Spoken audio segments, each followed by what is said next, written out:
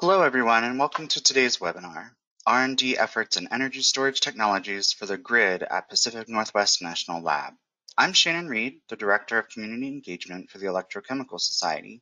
This is the first webinar in a series organized by the ECS Pacific Northwest section. Before we get started, I would like to go over a few items so you know how to participate in the webinar. Please make sure that your microphone is always on mute. This will alleviate any feedback or interruption from the audience during the presentation. You will have the opportunity to submit text questions to the presenters by typing your questions into the GoToMeetings chat section.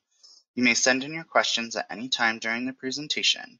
We will collect the questions and do our best to respond to them during the Q&A session after the presentation with time permitting. If we run out of time for the Q&A, we may post an ECS blog with answers to the most asked questions. As I mentioned, this webinar is the first in a quarterly series offered by the ECS Pacific Northwest section.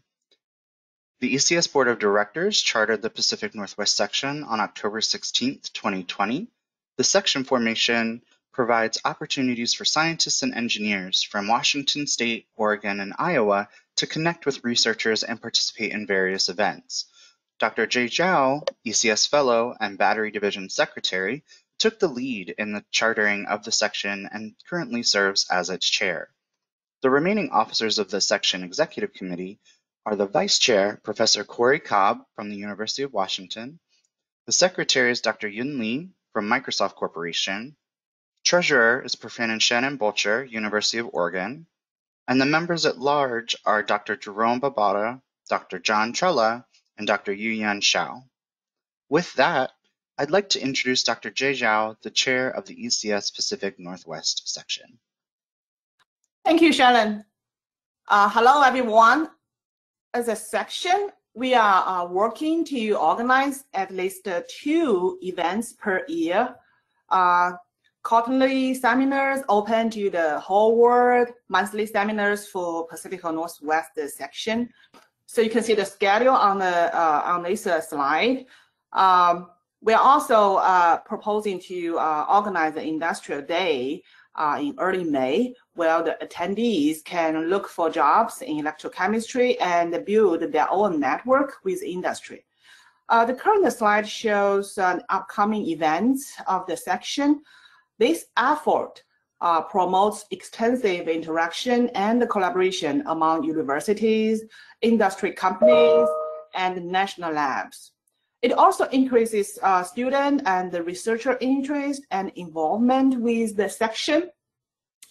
And uh, I also have another good news uh, for all of us that uh, ECS is uh, helping our uh, section to establish an electrochemistry researcher world and student world uh, to recognize uh, scientists in our three states, Washington, Oregon, and Idaho, who made um, outstanding contributions to the field of uh, electrochemistry. More details regarding how to apply for these uh, awards will be announced very soon. Now, please uh, allow me to introduce the webinar speakers, my colleagues, Dr. Wei Wang and Dr. David Reed.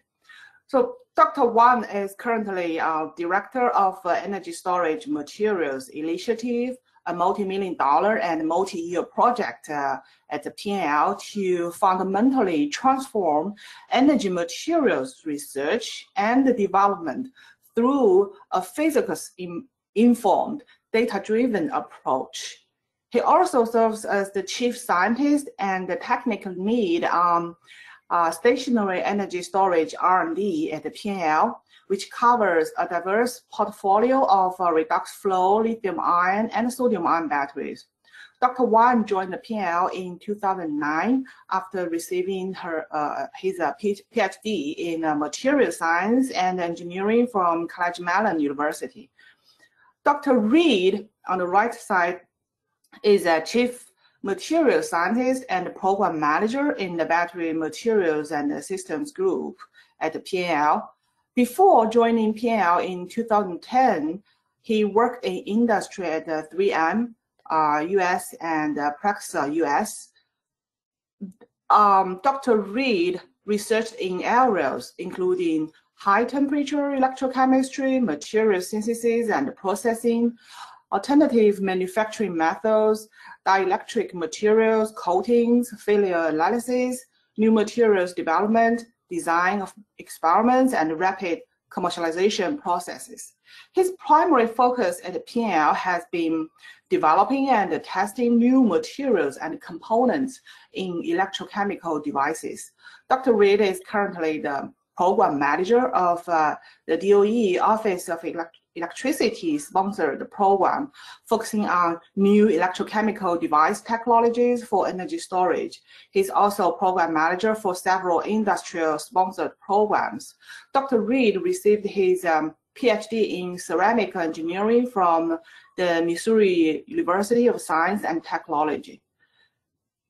Uh, without uh, further ado, uh, let's get started. Uh, today's webinar will cover first overview of uh, grid energy storage technologies being invested at the PNL.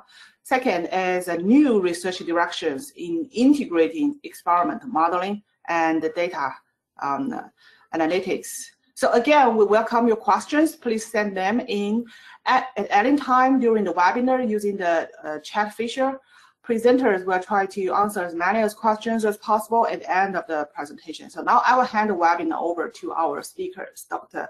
Wei Wang and Dr. David Reed.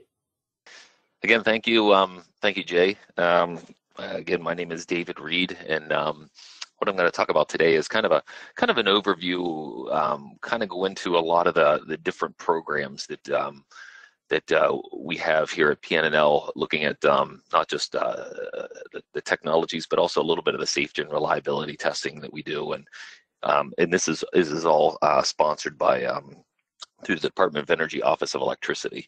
So it's really uh, its purpose to accelerate, you know, accelerate um, the amount of uh, storage technologies that we can get on onto the grid. So the next slide, um, so really what the program mission and the strategy is kind of what I was just talking about is to accelerate the development and adoption of energy storage. Um, and you know, it's between a generation and demand, but uh, giving the grid greater flexibility and resiliency. So, so this program, um, again, uh, sponsored by the Office of Electricity, it's it's team. We team with uh, Sandia and Oak Ridge National Lab. They're the, the other two national labs that uh, work with us very closely and we also work very closely, obviously, with industry, states, utilities, a lot of universities also that we have collaborations with. Um, it has a broad range of R&D um, deployments. So we look at things in the basic material science. Uh, we build devices, uh, systems, and then do analysis. It could be economic analysis, it could be performance analysis, and we have um, we have uh, many national collaborations, and we also have some international collaborations. And just to give a, um, a shout out um, to our program manager on this is uh, Dr. Imre Gyuk. Okay, so how how the program is kind of um, is, is is kind of divided up here is what you see is there's kind of four silos or um, what do you what do you call buckets that the first one is the cost competitive technologies and then safety and reliability regulatory support and industrial acceptance. What I'm going to go over today is is is is more in the cost competitive, and you can see I have that outlined in red. That that'd be the next slides I'll get into. And then I'm also going to go into a little bit of safety and reliability. Um, the regulatory and industrial acceptance we we also do, but I just um, just for timing purposes, we're just going to go over the first two uh, first two today. So so how I'm gonna how I'm gonna uh, do this in the next couple slides is I'm gonna go through each technology a little bit and just kind of highlight the things that we're doing, maybe a slide on each one, just to give you a feel for for the things that we do. So on the first one, what you'll see is um, in the cost competitive, uh, one of the biggest ones, in, you know, obviously is lithium ion. We, we don't do the development in the lithium ion on this one. We have a group, someone that, that Jay's kind of the, the, the manager of, of most of that. And there's obviously a lot of work um, being done on lithium ion, lithium metal development, but we don't do that on, on the grid, on the grid project here, but we do a lot of reliability testing on the lithium ion for grid applications. So, and then the next bucket is I'm also going to talk about is the safety and reliability. And then, um, and then, uh, so, so we'll jump into the, what, what the cost competitive technologies what we're looking at is um, obviously we're looking at different materials and the performance. How do, how do we improve the performance of different materials and different devices? And at the same time, can we lower the cost? So some of the key the key technologies that we're looking at are novel flow batteries, um, sodium ion, sodium metal halides, zinc manganese, uh, and also lead acid batteries. So they're not only all they're not all new technologies. Some some are um, very um, mature technologies like lead acid, but we're doing things to try to improve um, the understanding and, and, reduce the degradation. And I'll get into that in a couple slides. So if, if you're familiar with uh, some of the work that um, uh, PNNL has done in flow batteries, you're probably familiar with um, uh, a lot of work that's been done, a lot of really good work uh, that's been done on vanadium flow batteries in the past. And I don't know if um, if Wei is going to talk about he, he, might talk about both of these, so I'm not going to spend a lot of time on this. But obviously, there was a, a lot of great work done on um, electrolytes, and we have a mixed mixed acid electrolyte, but also a um, um a binary uh, um, a, a, two two electrolytes they were doing, and they they are actually being commercialized by different companies and things now. So what we've done is we've now used. Um, there's always the the issue with the cost of vanadium being high, and, and so what what Wei and his team are doing now is they're looking at aqueous soluble organics. So these are things that again. Um, major constituent is water, so they're high safety, early, uh, easy thermal management, and actually very nice progress right now on this. So it's getting close, um, running at high current densities, still stable.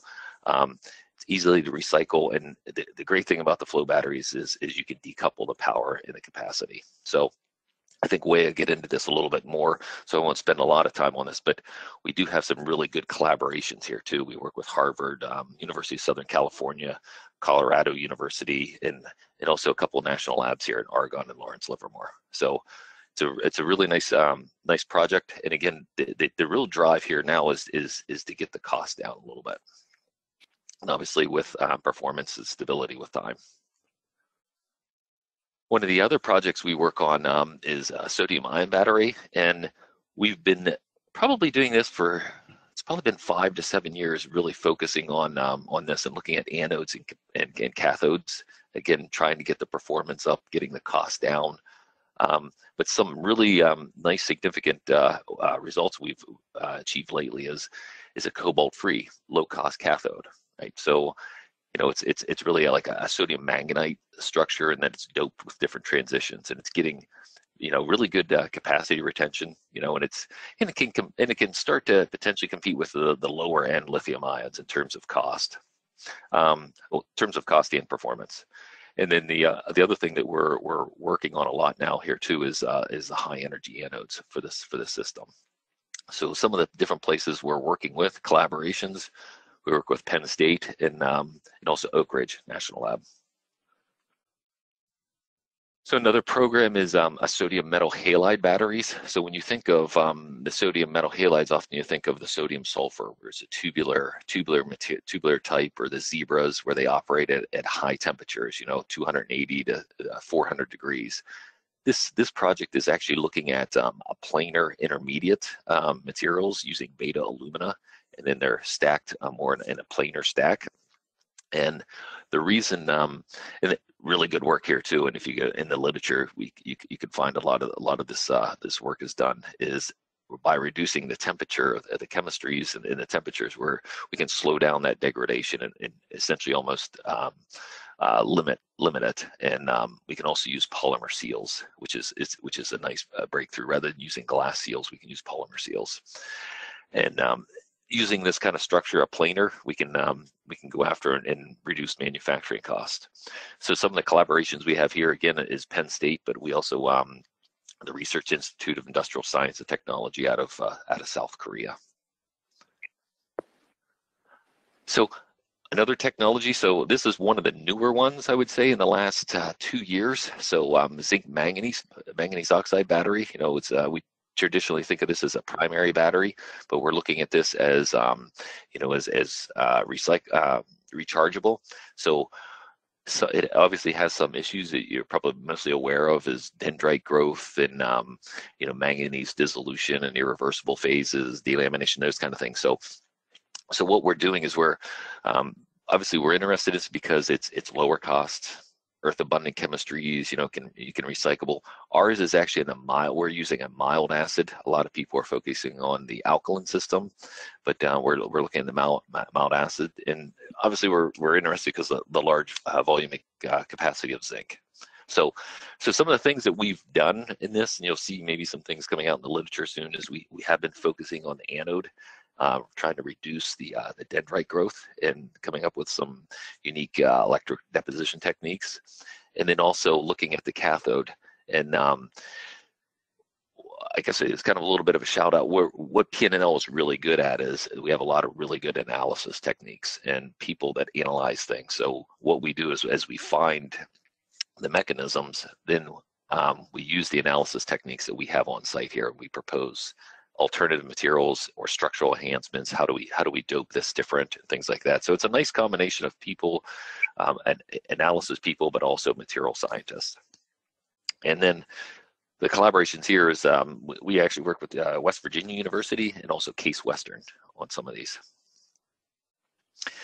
So an interesting uh, other technology that we've started in the last couple years is looking at the lead acid battery. You know, and this is obviously this is a very mature business, but it um, what you find is you, you get into this and we work with people, the um, the lead acid manufacturers, and they've actually reached out to us and to Argonne. And the last slide, we're now kind in terms of, of the um, cost competitive on a project together, is the issues with um, there's a lot of additives and there's a lot of things that go into these these batteries and they're not there's not a lot of understanding of what what they actually do. So we're we're we're looking at a lot of things, um, the degradation mechanisms, the solvation chemistry, and and what are the roles of those things. And once we understand that, then we can try to enhance um, and slow down that degradation, and obviously open it up for um, more more applications for the uh, st station energy storage applications.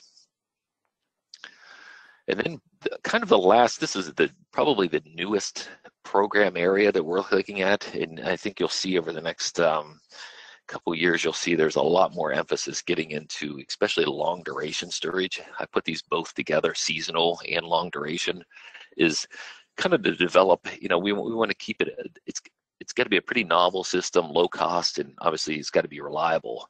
But for long duration, we're looking at things of, of greater than 10 hours, you know, up to multi days, right? Um, for seasonal, we're looking at things where um, you can actually charge it, you know, set it aside for a while, and then whenever you need it, if it's an emergency or if it's seasonal, um, then then you can use it. But the, the trick with that one is is to uh, show minimal degradation over long periods of time.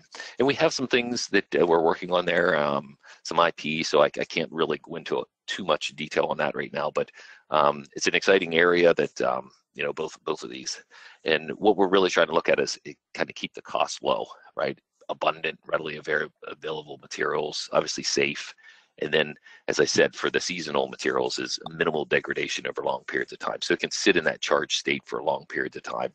And then when it's needed on demand. And then potentially have some um, maybe portable, and that would be for emergency situations, obviously for the um, for the seasonal material.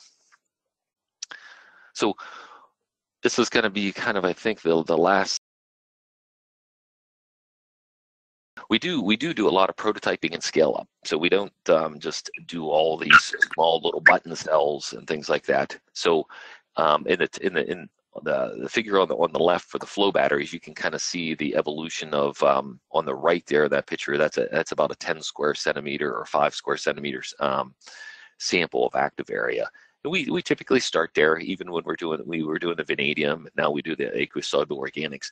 But as we finish uh, and we do our milestones every year, we end up in the sample, a sample size that's on the left there. That's about 800 square centimeters. That's something that people that are commercializing this, this is this is relevant size to them. So they're they're they're interested in that, and we typically all of our milestones every year we end up in that uh, in that size and do um, a multi multi stack uh, sample for um, for analysis. We also do a lot of cost analysis on this. You know, what are the components on there? You know, obviously, if you if you run to higher current densities, things like how how how do, how do what are the trade offs there? So we do a little bit of an economic analysis too. Uh, the two samples on the right there, um, sodium ion and sodium metal halide, we're also obviously interested in scaling these a little bit. The sodium ion, we're just starting this year um, doing some pouch cell development, um, getting some good results now. And then also for the sodium metal halide, um, we've uh, traditionally worked a pretty pretty small, more of a button cell, like maybe a, a, th a three square centimeters. But um, in the last year or two, we've we've actually gone up to much much larger areas. So something that's more, again, uh, uh close to what you would commercialize something at. So it's it's more of a 60 square centimeters. And again, here the collaborations we're um, working with Jabil. Jabil helps a lot on the flow battery design, and also um, again uh, RIST out of uh, South Korea. So I'm going to transition a little bit into um, the safety and reliability now. So that that's kind of what I, what I just uh, gave there was kind of, is kind of um, you know a high high level of what kind of different technologies we're looking at, um, who we work with, a lot of collaborations, how we're trying to accelerate in um, on on the actual technologies themselves. Now the next next section here is going to be um, how else do we support all those technologies or getting things on the grid? How do we do that uh, in terms of safety and reliability?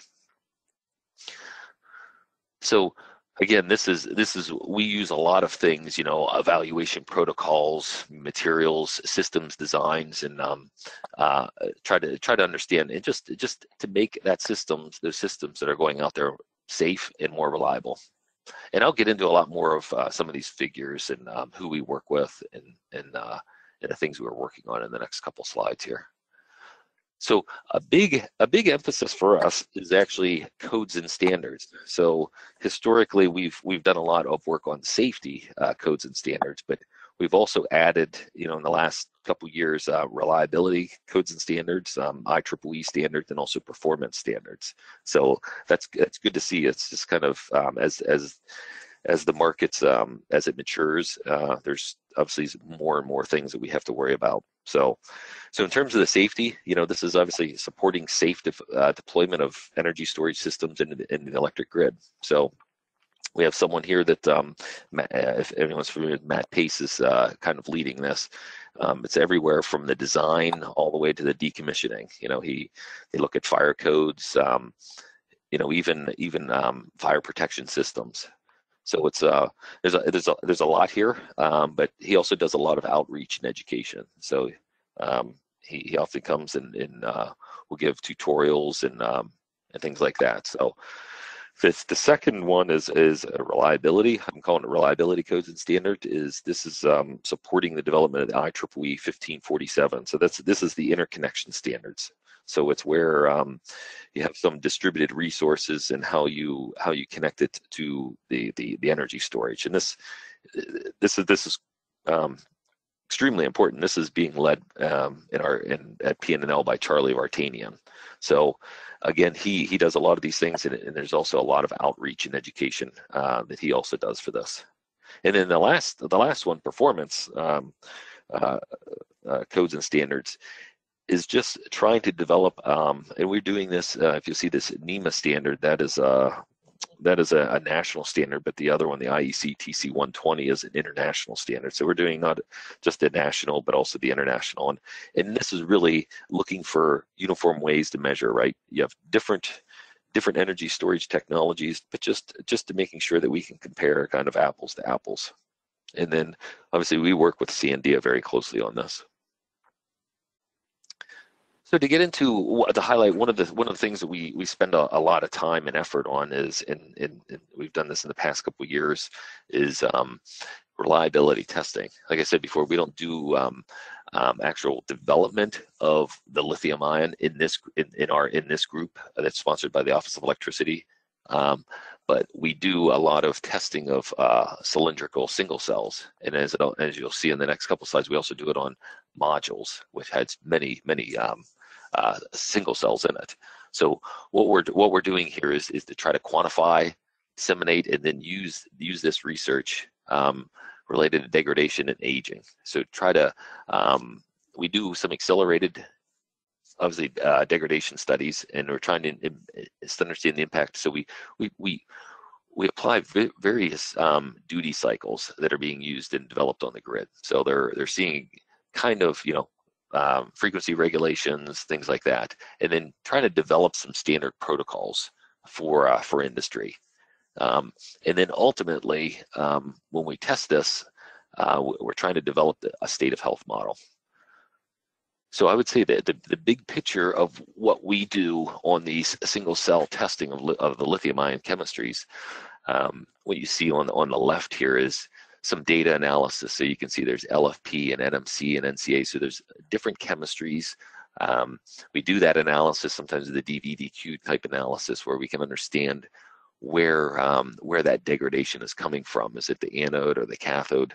And then again, we have really good analytical uh, uh tech, techniques and, and, people support people here where we try to pinpoint and, and figure out where um, what, what is happening in there. And then we can understand the degradation mechanism. So this this helps in you know obviously lifetime predictions but also state of health monitoring. And then also just to give the, the big pictures of how is the chemistry the microstructure and how does that relate to properties as a function of time.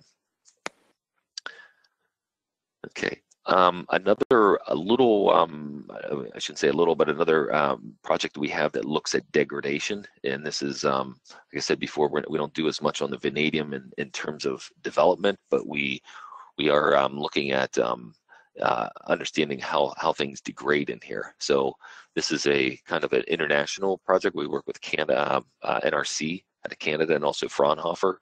And then an example of this is developed um, a really stable reference electrode. So um, what we're able to do is during um, before during testing and, and, running of this, we're able to, to, isolate out the anode and the cathode from each other.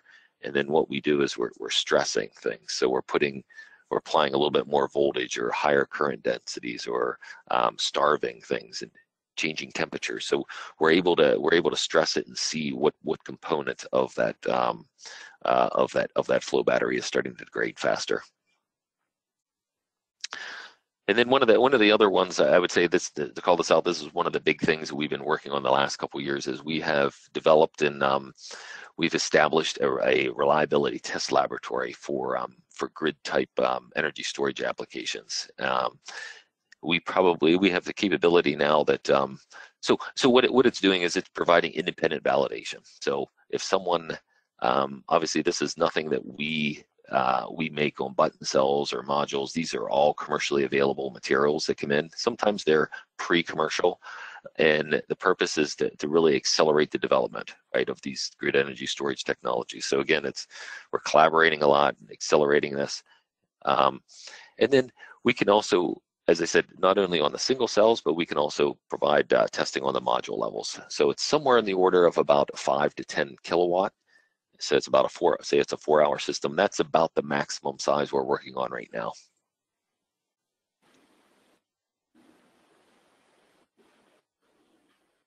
So again, it's this is it's equipped to safely test single cells and modules for all existing and emerging technologies. And again, it's for sizes up to about uh, 10 kilowatt. And I'll show you at the end here, we have in plans in the future, obviously, to go even much bigger than that. So, but you can see some of the pictures on the right. Um, they're getting to be um, larger. I mean, some of them are flow flow batteries, but um, we're testing those that are that are commercially available. We're testing iron, nickel, um, some lead acid. Um, obviously, lithium ion is still in there, and then you can see a lot of a lot of the collaborators and partners that we have in these systems. Um, so we're always looking for you know people are coming out with have, have new ones if they need uh, independent validation and um, hopefully it's something maybe we could we could work with you on. So the the last, I'm going to go over a couple last couple projects that are kind of um, I'm not going to say they're different. They just they um, they're they're exciting. They just fit kind of a different um, different area. This one is um, grid integration of marine renewable energies. So we have a facility over in uh, Sequim. So it's over on the coast um, on the western side of Washington, and what we're doing is we've um, obviously bought a um, um, uh, the energy storage device. So we're integrating this into the marine power and, and the energy storage system, right? And then Charlie Charlie Vartanian, the one that's working on the IEEE 1547, he is going to comply with the electric utilities, that integration standard for that.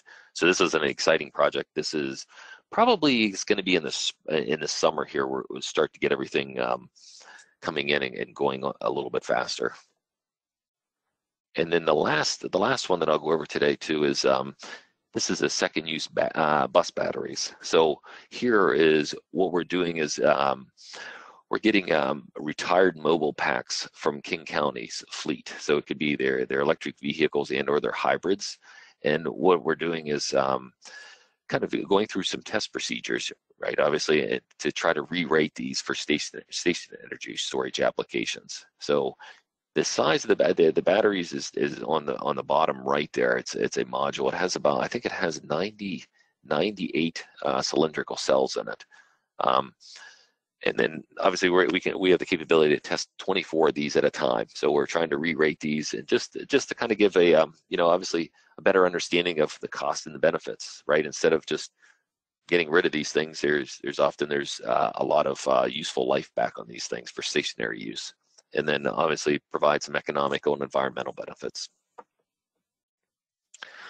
And then my last slide that I'm going to go over is I talked about um, so in the future we do we do have some things. So this is um, uh, something that's exciting for uh, I think all the people at PNNL is um, having having a new um, a new building or uh, a, a, new um, this is called a grid storage launch pad or GSL. So it is is it is obviously it's a new building that's dedicated to grid energy storage. So um, you know, Department of Energy, you know, they identified you know they needed some accelerated development. So um, PNNL was selected, you know, in Richland, Washington as a as a site for this. Um, and, and, it also has includes investment from the state of Washington, Battelle, and PNNL, but the major, you know, big investment is from the Department of Energy. And as I said before, you can see um, we can test in this facility, and it's going to be planned to test up to 100 kilowatt systems. You know, four-hour system, 400 kilowatt hour. Um, and again, this mission and it, and it brings in we've been talking about so it fits very nicely where we're at now is you know is, is validating right independent testing and then accelerating you know we're working with others and then obviously collaborating you know bringing together doe and, and research industry and it it helps lower the barriers to innovation and deployment so and this building is going to be on the order of about 80 85000 square feet so it's a nice sized building and um, you know we're excited about it and the last thing I'll do is just shout out, give a, um, a thank you for obviously for uh, Dr. Imre Gyuk. He's uh, DOE OE program manager. Um, we work again with a lot of universities, national laboratories, industrial collaborators. Uh, thank you for everybody there. Really great group of people, and and obviously the PNNL staff. You know the guys that are working on this every day, and uh, thank you for uh, for all your hard work. Yeah, thank you, David. Uh, so we will um, have the Q&A session after uh, Wei's talk. Thank yep. you. David. Okay. Thank you. Uh, Dr. Wei Wang. Thank you, Jay, and the organizer uh, for inviting me to this uh, uh, talk. And I'm very happy to see that ECS have a Pacific Northwest uh, section, something we have longed for for quite a while for the for the scientists, the engineers working in the electrochemistry uh, field. Uh, so uh, Dave has given an excellent uh, overview of what we're doing in the PNL for the energy, grid energy storage. And uh, what I'm going to do is I'm going to take one of the example, the redox flow batteries, and go a little bit deeper. So what I want to show you is how we use the excellent uh, fundamental science research capability in PNL to advance the technology to uh, really push them into the market to improve the uh, the performance and the cost everything of the um, of the uh, uh, flow battery, some of the flow battery technology to move it to the market. And then the second part of my talk will be discussing the uh, the our future directions if we are really going to say we're going to decarbonize our economy in the 20, 30 years of time frame, what we need to be doing. So uh, Dave has given a, a, introduction of the flow batteries and the reason uh, we want to use it in the in the grid energy storage.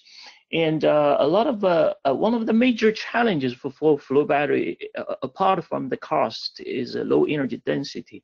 They're normally around five to, ten times lower than the lithium-ion batteries in terms of the volumetric density.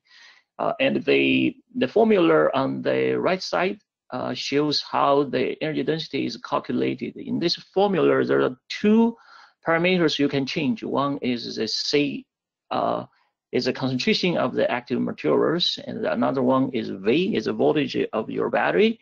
So if we are going to change the V, we are really going to venture into the uh, non-aqueous system. So today I'm going to uh, stay in the aqueous system and talk about how to increase this C as a concentration. So my uh, talk will be focused, the first half will focus on the developing high energy density electrolyte, and this started with understanding the solvation chemistry of the high concentration electrolyte. And it's not a trivial question, it's actually uh, exceedingly um, uh, difficult to understand what's happening in uh, in uh, one molar, two molar electrolyte, how the ions interact, how they interact with the salt ions. Uh, those all pose uh, questions and uh, risks for the stability of the electrolyte. So I'll be talking about that a little bit. And then we will, I will uh, briefly discuss three strategies that we use to design the high performance uh, electrolyte. Include the first is design of the contact ion pairs. And second one is disrupt the cluster uh, formation. And the last one is device preferential solvation. So I call them 3Ds. I'll be giving examples of the uh, different uh, redox chemistries we use in those three different ways to, uh, to improve their performance. Uh, so uh, my talk might be a little bit technical heavy, so I'll try to avoid using technical jargons, uh, but please ask questions anytime. Yeah. So the first one uh, I'm going to use as an example is the vanadium electrolyte, uh, the vanadium flow batteries that Dave already mentioned. So for those of you who don't know the vanadium flow battery, it capitalizes on the four different valence uh, date of the vanadium. So on the anode side, uh, and the anolyte side, I should say, is vanadium 2 and 3, and the vanadium uh, 4 and 5 on, on the catholyte side. So it, during the charge, the on the cathode side, the four will be oxidized to five, and on the uh, anolyte side, the uh, the three will be reduced to two, and then vice versa. So one significant challenge for this electrolyte is the uh, there are several uh, challenges, but one uh, very uh, prominent is the vanadium five will precipitate out at the high temperature. So that's why the traditional vanadium electrolyte is normally capped at 1.5 molar and normally can only be operated uh, uh, below 35 degrees. So that's why uh, during the summer it will require the active uh, uh, temperature control, meaning you, the system need to come with some sort of uh, air conditioning system, it increase the cost of overall systems. So we first try to understand the solvation chemistry of the vanadium 5 why it precipitated out. And the choosing here is uh, NMR data with a varied uh, temperature. You see the when the when the electrolyte heating up and cooling down, uh, it doesn't come up uh, on the same same route. So it shows that start, there's something happens with the bonding environment of the uh, of the vanadium. The oxygen NMR also shows a similar pattern. Uh, I'm not showing that here. Uh, so the first reason I identified this through the DFT theoretical calculation is that the vanadium 4 hydroxide, uh, uh, after it at the high temperature gain a little bit of energy, it actually will uh, go through a deprotonation process. It will kick out a proton and become a, a vanadium hydroxide. And this hydroxide will keep growing um, uh, uh, and this become the the uh, this this molecule become the seed for the continual growth of the network, and that we also identified using the uh, TOF SIMS uh, technology. Uh, so the picture on the left side showing this technology, basically we have the electrolyte there, and then we uh, use the bismuth ion to bombard the surface of the electrolyte, and then we use the secondary uh, the mass spec to collect and analyze the secondary ions that generated from that uh, that uh, uh, that collide collision. So what we found here is this is a two molar uh, vanadium 5 electrolyte at the 50 uh, degree after uh, different times. So what we found here is in this electrolyte, there's actually a lot of higher order vanadium oxide, which basically means this uh, uh, they, say the initiative from the deprotonation started to uh, grow and uh, basically it started to dimerize and uh, trimerize and eventually form a clustering and eventually it uh, uh, become a crystal nucleate, goes through the nucleation and become a crystal precipitate out as a V2O5.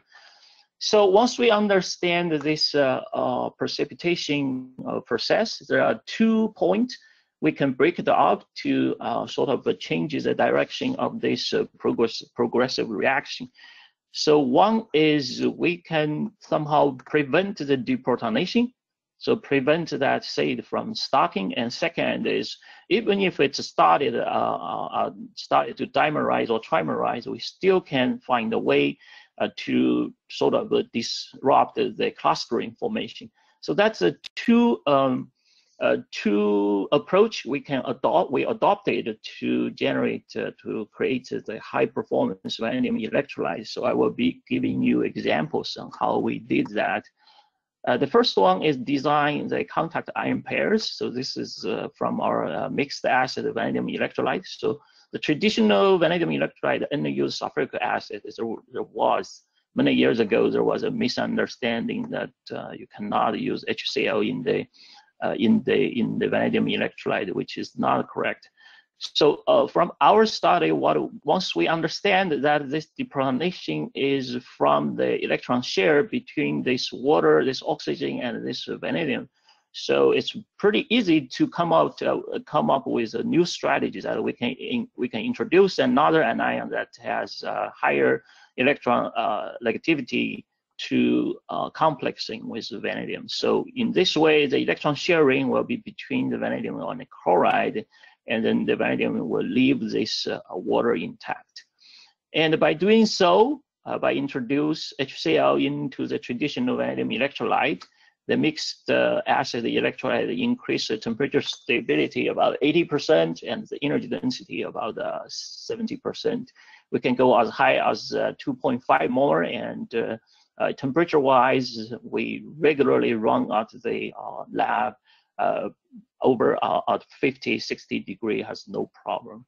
And this is the technology that uh, we further uh, demonstrated in our kilowatt uh, flow battery demonstration lab, and then uh, has been licensed to several companies, include the UniEnergy, also in Seattle, our one of our the local Northwest companies, and several systems has been licensed. And the second approach is to try to disrupt the clustering formation. So uh, once the deprotonation uh, process began and they, uh, the, the molecule started to uh, dimerize, trimerize, we still can find a way to disrupt that clustering uh, from forming bigger clustering and then eventually uh, precipitate out.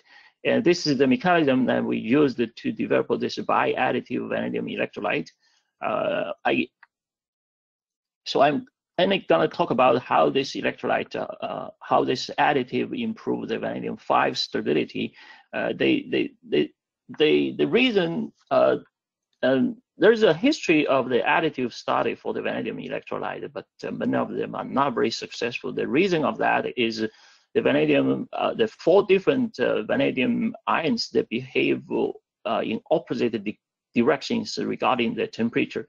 Uh, they two, the two, three, four normally precipitate out the uh, low temperature, while they, uh, they, the vanadium five precipitate at high temperature. So the single additive normally cannot achieve the the purpose of stabilize all the uh, electro uh, all the uh, active ions in the electrolyte. So that's why we uh, devise this uh, uh, bi-additive additive by uh, by additive uh, um, uh, combination of salt of the uh, ammonia hydrogen phosphate and the magnesium chloride. So uh, this is a very complicated system. I'll, I'll talk about couple of the, uh, the, the major points. So what we introduce here is actually introduce the anion of the phosphate and the chloride to complex with the uh, vanadium uh, uh, uh ions, vanadium 5 uh, molecules, especially at the bond of the vanadium oxygen double bond where the electron density uh, is, is high and it's have high tendency to form the, to, to be complexing with those anions. And so, uh, and the, the, cations in this two salt actually does not form uh, contact ion pair. It more function as a weak interaction uh, with the the uh, vanadium five uh, molecule to further uh, disrupt the clustering formation. So what we really did here is basically to have the have the additive ions to form uh, complex with the vanadium uh, uh, ions. So in a sense, to prevent the vanadium five ions to from higher form higher order of the clustering and uh, oxide to precipitate out.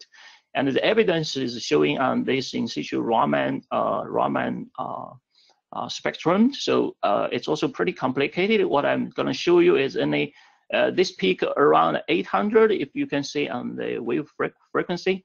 So this is I started it's a hump. This is a VOV bond in the solution.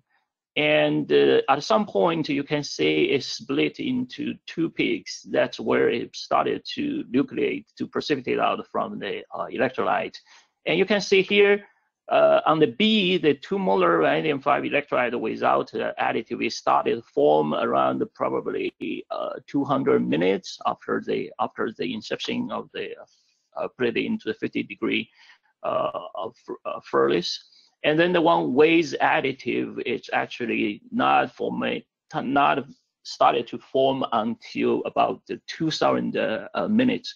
So it's uh, in the, you, you, can see that with the additive, it delays the formation of the nucleation quite a bit. There's other information in this spectrum.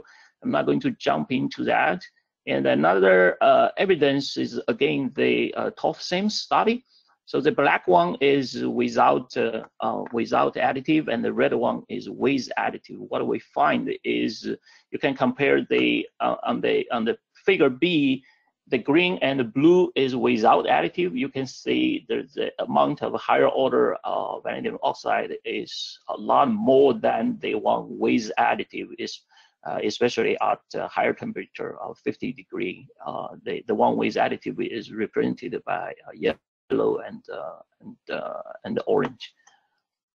So, so this electrolyte uh, compared with the pristine one increase, uh, this is a solubility table showing that the biadditive in the temperature from minus five all the way to 50 are stable.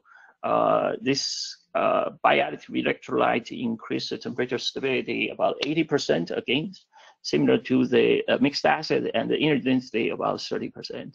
And this uh, technology also licensed for uh, several to several companies. And some of them even take it to higher temperature of 60, 70 degree. So the last D I'm gonna talk about is the device prefer preferential or solvation. Uh, I'm going to use a non-aqueous uh, um, uh, chemistry to illustrate this point. And uh, I'm going to later on also talk about this in uh, aqueous system, uh, aqueous organic. So here, uh, this is a, a, research several years ago when the non-aqueous flow battery was just started. we tried to use the ferrocene, which is a very well-known redox molecule. It gives you a a very beautiful uh, redox uh, CV peak. Uh, but the problem is if we try to dissolve them in the uh, lithium battery electrolyte, very common EC, PC, EMC uh, mixture, uh, solubility is very low, 0.04 molar. So what we find is if we uh, modify it with um, quaternary amine as a as, as a side arm and then use the TFSI as a counter ions, the uh, solubility actually increased quite a bit, more than 20%, and uh, 20-fold, I'm sorry. Um, so they, this is the NMR spectrum showing here just the uh, solvent itself, and then the low concentration electrolyte, and then the saturated high concentration electrolyte. So what we find is a, a three different points here. The solvation peak uh, spacing doesn't change. It, it, means there's no chemical bonding forming. But it, it does when we add the uh, ferrocene into the electrolyte, especially this modified one, we saw intensify of the uh, interaction between the solvent and the solute, uh, which uh, which basically means that's how their uh, uh, solubility increase. And the increase is especially coming from this ionic arm and the, if you can say that's the um, proton of one, two, three, uh, on this ion, ionic branch that the uh, NMR shift is the most compared to the to the protons on the ring side. Uh, on the rings, the shift on the arm is a lot more. So they basically what we did is we created a part of the ferrocene that interact a lot more than other parts uh, in this uh, in its uh, solvent. And this point is further illustrated uh, when they uh, when the guys did the study on the uh, uh using NMR to to study their diffusion rate uh, T T1 T2 times. Uh, I'm not going to this going this spectrals, but what we find is after we add this ionic arm on the ferrocene, the electrolyte sort of being picked apart and what we found, we found is that the EC, EMC tend to stay on the ionic side, and then the PC tend to stay on the iron side. Uh, so in the figure, it, it was on the left side. So uh, in essence, that this uh, uh, this modification actually uh, sort of created inhomogeneity in the solvent. The solvent used to be random and hom hom hom uh, random mixture and totally uh, homogenized. Uh, but after this uh, arm, uh, this creating this ionic arm because of the different electron densities, it's actually created some type of a polarity in the in the in the solvent. And this is some of the performance when uh, when we form a flow battery against the lithium metal. Uh, this at the time was the highest energy density lithium flow batteries. So uh, this is a so I talk about the mixed acid by additive and uh, ferrocene, and there's some other examples I didn't touch upon, the linked iodide, and I'll talk about Phenazine a little bit later. So to wrap up this section that uh, how we use molecular engineering for high performance redox flow battery uh, electrolyte, we believe that the predictive understanding of the solvation chemistry of the electrolyte itself is very important that will enable you to design uh, the, the approach is a plans to improve the uh, performance. Uh, and through the preferential solvation, we can we can achieve that purpose uh, by different ways. For example, the contact ion pair and uh, uh, and also the, the by by creating local localized interactions, the solubility can be increased. So the summary is actually pretty simple. So in this business, I would say the that anisotropic is your friend. Uh, basically, if you want to improve the uh, solubility of the active materials, you need to create some types of uh, some sort of the asymmetry in the structure, either in the active material or in the solvent solution itself. So uh, that's the first part of the uh, my talk. I want to show you how we use this uh, fundamental science Uh, and characterization to to generate they help us to generate a high performance uh, vanadium uh, uh, di uh, different redox flow battery electrolyte. And the second issue, second part of my talk is what are we trying to do in the future. So start for this part, I'm going to tell you a story on how we uh, we did the another development on the Phenazine, uh, which I showed uh, the picture before. So the Phenazine, it has a nice redox peak again, but it does not dissolve in water. And so uh, what we did is we did a modeling of uh, with our um, uh, organic scientists to come up with seven different modification plans, seven different derivatives and then one of our uh, fantastic uh, uh organic scientists, Aaron, uh, spent quite some time to synthesize all of them and characterize them and picked the best one. And then we did the uh, testing, and we now are in the process of protein type scale it up.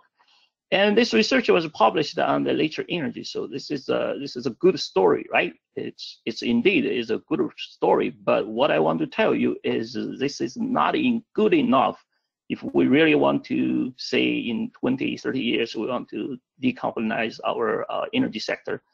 So I'm gonna uh, show you some comparison. Okay, so in two years we design and screen the eight molecule and develop the best one to the point of prototype, right? And uh, after eight years, I can tell you which one is the best among these eight molecules. And let's say you are 10 times better, you're 10 times uh, smarter than us, you can screen 80 molecules in two years. And then you are also richer than us. You have uh, 10 times of uh, more resource and headcount. So you can screen uh, 800 molecules over two years.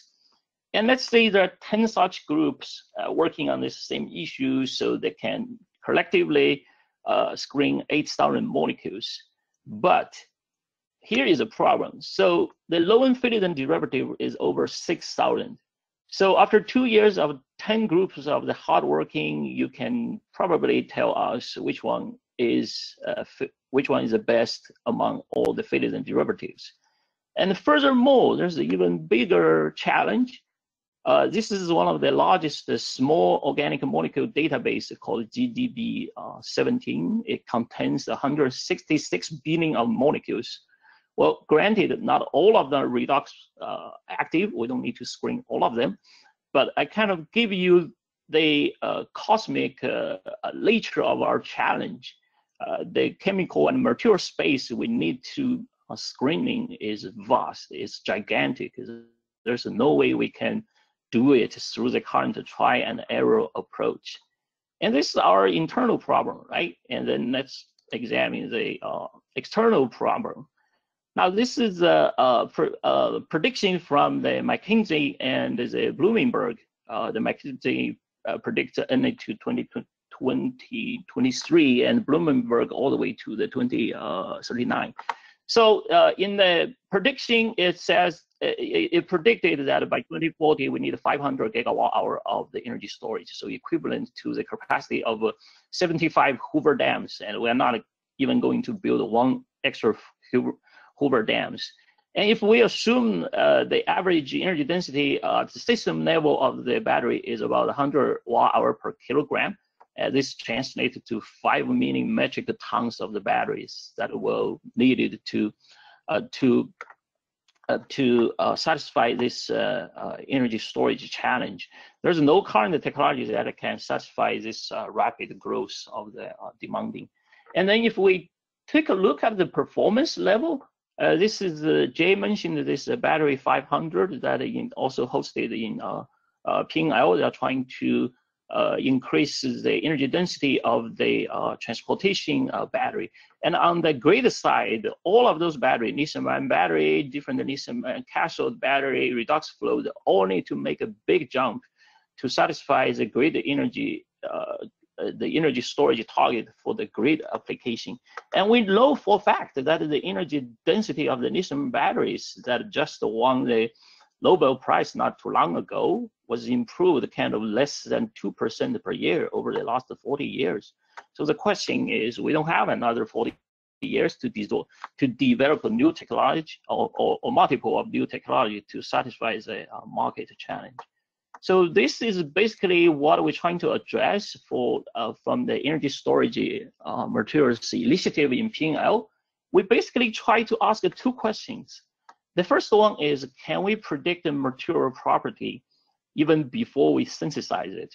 Uh, remember, uh, Aaron spent eight year, uh, eight, uh, sorry, spent two months, uh, spent, sorry, two years to synthesize uh, seven different molecules. And that's a very time consuming. So what we want to achieve, achieve is to say if we can by establishing a correlation between the material structure and the material property, can we, uh, before we even synthesize it, we can predict what, for example, its its solubility. If we our predict is very small, then we don't even need to uh, synthesize it. We can only target our synthesize on very promising molecules. So this needs to basically need to on the atomic, uh, atomistic level need to collect the molecule structure to its property. And we can do this by a data-driven uh, machine learning uh, approach. Um, and then the second question is, can we predict the device performance even before the assembly? Uh, you you all heard the the story, many story of the Death Valley of the startup companies, right? That take a laboratory developed uh, technology, uh, new energy material to the market, and all of a sudden they found it, it it does not look like what they expected in the full cell in the whole system. So what we want to do is say if we can at the laboratory level, we can rapid prototyping the validate that to validate the new materials or new technologies.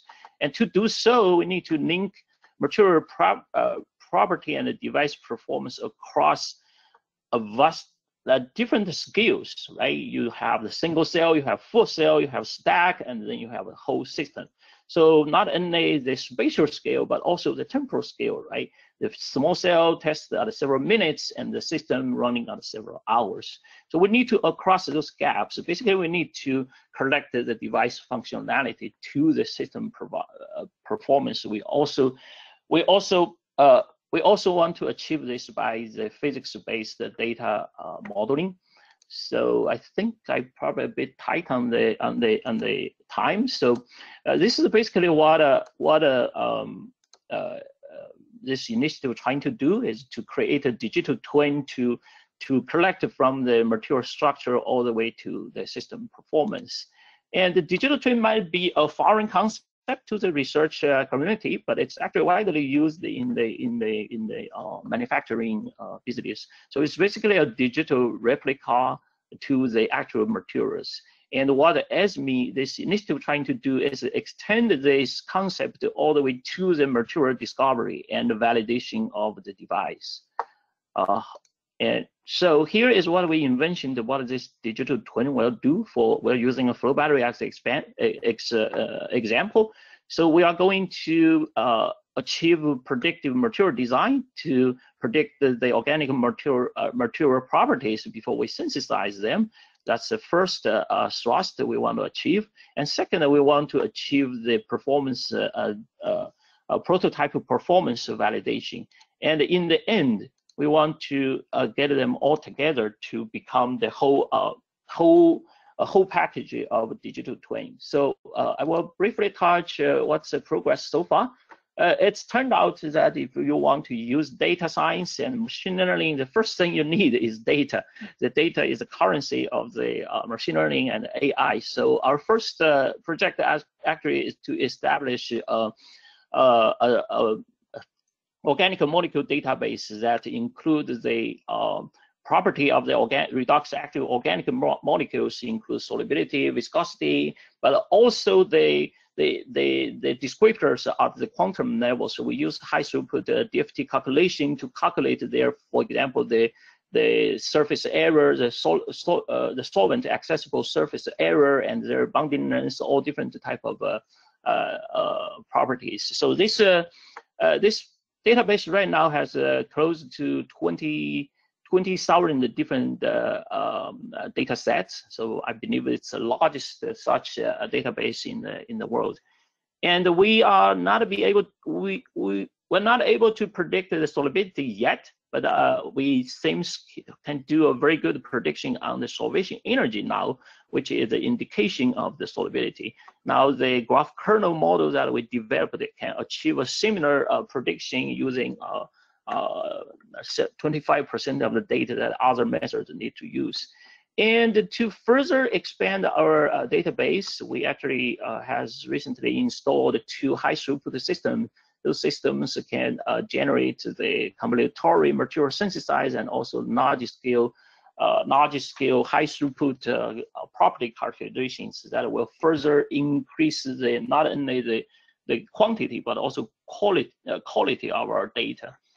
And on the digital twin side, we were able to demonstrate the first multi-fidelity uh, machine learning models that are based on the physics informed Gaussian process. So uh, I'm going to just uh, introduce this a little bit. So you can see the traditional model, they cannot predict the tail of this discharge of a flow battery. And then with the, uh, the this new model, even just the two data points, uh, we can actually uh, pretty accurately predict the flow battery performance of both charge and discharge curves. So we are further developing those uh, uh, models and the databases. Uh, so that's kind of all I have. And uh, then it's my acknowledgement, of course, the financial support from the OE Office Energy Storage Program. And also the uh, initiative itself is supported by PNL's uh, laboratory directed research and development. Uh, I did just want to give everyone and a my heads colleagues, up. many um, of them uh, the announcement regarding- different projects, uh, and my, some of them uh, by the uh, past members. I think that's my last slide. Thank you. That's all I have. Thank you, thank you, Wei. Thank you, Dr. Wei Wang and Dr. David Reed. Uh, due to the time limit, I think uh, maybe um, we can just answer a couple of questions. If you have uh, additional questions, please directly send your emails to them. So there's a one question in the chat window. By using the bi-salts additive in the vanadium electrolyte, will that change the solubility of the vanadium salts at different state of charge? Uh, that's a good question. It, it's not. So what we did was uh, we um, they, they all the different uh, uh, valence state they are all at uh, uh, two molar, and then we added the additive and make sure that they are all stable at that same concentration. Uh, one last question, anyone? Okay, last call. If no, uh, let's uh, thank uh, ECS, thank uh, Dr. David Reed and uh, Dr. Wei Wang again. Uh, thank you everyone for participating. Shannon? Thanks, Jay. Um, just to round out the webinar, you know, I want to say thank you. Um, the webinar is a great, the webinar program is a great way to engage our community. We know that many of our members get started with ECS through biannual meetings and section events. So uh, having the Pacific Northwest section facilitate a quarterly webinar series is great. Um, you know, we have a lot of membership options for those people who may be new to ECS or new to the Pacific Northwest section. If you're interested in joining the Pacific Northwest section, please email me at shannon.reed at electrochem.org or you can email customer service at electrochem.org. Uh, as, a, as an announcement for the attendees today,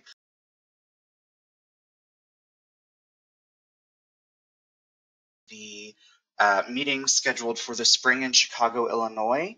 Uh, this meeting will be digital, um, so uh, we will be doing a similar meeting. Uh, the 239th ECS meeting will be similar to Prime 2020. Uh, registration will be opening in the next couple of weeks. I believe it's scheduled to open at the end of February or beginning of March. Uh, we have two other engagement opportunities uh, as far as meetings involved this year. Um, the second is going to be the uh, SOFC Solid Oxide Fuel Cells Conference. Uh, this was originally scheduled to be in Stockholm, Sweden. Um, that has been announced that it will be digital. The abstract deadline uh, for this meeting is February 5th. So please make sure that if you're interested to submit your abstracts by the 5th of February. The other biannual meeting that we have this year, our fall biannual meeting, is scheduled to be in Orlando, Florida in October. Um, it's the 240th ECS meeting. Abstract submission is open and they are due on April 9th. Um, this meeting is still scheduled to be in person, but of course, we'll keep an eye on um, uh, the pandemic and, and what's happening in the world to uh, keep the community updated regarding whether this is an in-person meeting or if that changes. In addition to the quarterly uh, webinar series that the Pacific Northwest is doing, um, there are additional ECS webinars as part of the ECS webinar series. You can learn more if you visit electrochem.org slash webinar or slash webinars, excuse me. Again, I want to give a tremendous thank you to Dr. Jie Xiao for moderating the webinar and Dr. Wei and Dr. Reed for presenting. Uh, these types of events really help promote engagement with the section and help further the mission of ECS. Make sure to mark your calendars um, and check in for the Pacific Northwest section event occurring in February and April. Uh, thank you again, everyone, for joining us. The webinar is now over.